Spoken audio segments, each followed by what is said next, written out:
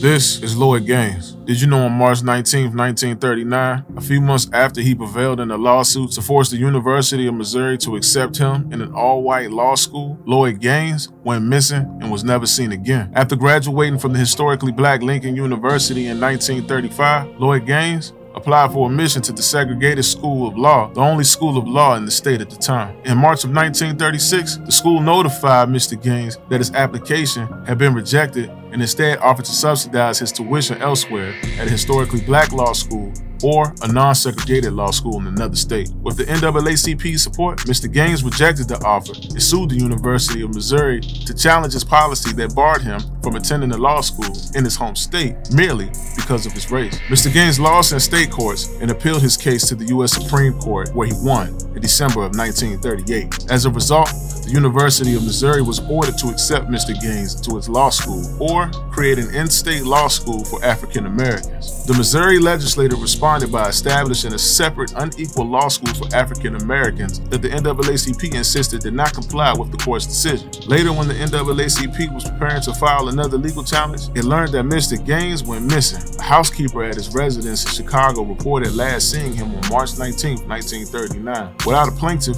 the desegregation lawsuit against the University of Missouri was dismissed. It would be another decade before the school would admit its first African American student. What do you really think happened to Mr. Gaines? Did you know that this happened? Now you do.